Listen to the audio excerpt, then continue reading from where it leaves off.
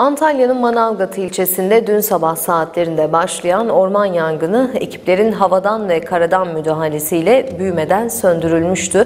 Gündoğdu mahallesinde gece yarısı bir yangın daha çıktı ve hem mahalle sakinleri hem de itfaiye araçları tarafından şiddetli rüzgara rağmen kısa sürede söndürüldü.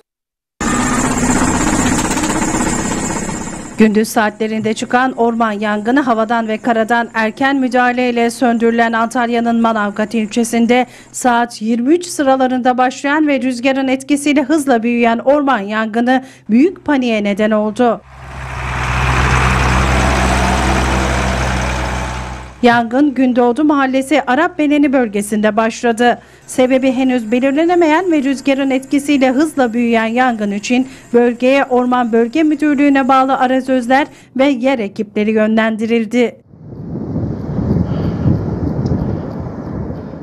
Gece olduğu için havadan müdahale edilemeyen ve ağaçları saran alevler rüzgarın etkisiyle hızla yayılırken yangın ekiplerin yaklaşık 3 saatlik çalışması sonunda yerleşim alanlarına ulaşmadan güçlükle kontrol altına alınabildi.